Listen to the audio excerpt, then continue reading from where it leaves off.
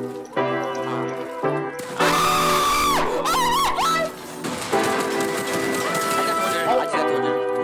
Oh my god, I'm actually dead. Never mind, I hit Well, one it looked pump. like I wasn't part each other. One like, pump two, that's a glitch. clip. sh- Safety. Bro, it's not making me stop. Oh my god! Alright guys, so for the secret setting, no one has this on. You guys can go into anyone's settings vid. I'm the only one that has this on, and you guys know I hit all headshots with AR pump, so put this on, okay? It is look dampening time. Basically, what look dampening time does, it gives you more control of your stick.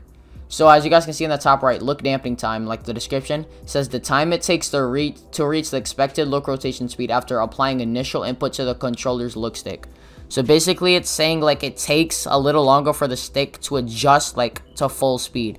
So basically, I plan 0.18 seconds. If you guys plan 0, it's going to feel really weird, really slow. But just keep upping it one by one. So I say if you're playing 0, up it to 5. And then keep upping it. I plan 18. It's just the perfect setting for me. Just find the perfect setting for you. And I'm telling you guys, your aim will get way better. So basically, what the setting does, like if you double edit into someone's box, it's basically just easier for like to hit headshots, you know, like it's just like a little slowed down. So like it's just easier to aim on the head. Like it literally locks on the head for me. Like I just aim, boom, headshot 200. Get out my face, Simpletrons.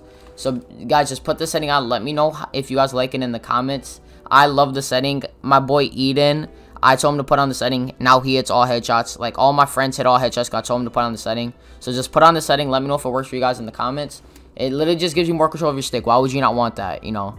Um. So yeah, just let me know in the comments how this works and for the second setting, um, all credit to Signature, go Salvador, you know. But as you guys can see right now, my setting is on 14 dead zone, and it's not aiming for me. My screen is just staying straight.